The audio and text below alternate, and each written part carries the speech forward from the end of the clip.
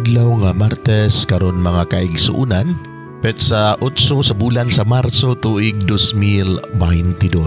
Ang pagbasa kinutlo gikan sa Ebanghelyo sumala ni San Mateo kapitulo 6 bersikulo 7 ngadto sa 15. Si Jesus mingon ngadto sa iyang mga tinunan, sa inyong pagampo, ayaw paggamit og daghang pulong nga walay kahulugan sama sa gibuhat sa mga dili magtutuo kinsa naghuna-una nga tubagon sila tungod sa taas nilang pagampo.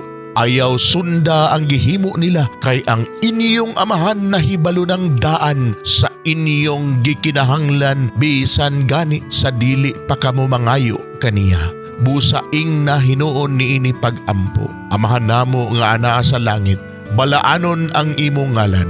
Maghari ka kanamo ug tumanon ng imong pagbuot dinhi sa yuta sa mga gituman kini didto sa langit. Ihatag kanamo ang pagkaon nga among gikinahanglan karong adlaw ug pasaylua kami sa among mga sala sama nga kami nagpasaylo sa mga nakasala kanamo Ayaw kami itugyan sa pagsulay, luwas sa hinuon kami gikan sa dautan. Kay imo ang gingharian, ang gahom ug ang himaya hangtod sa kahangturan.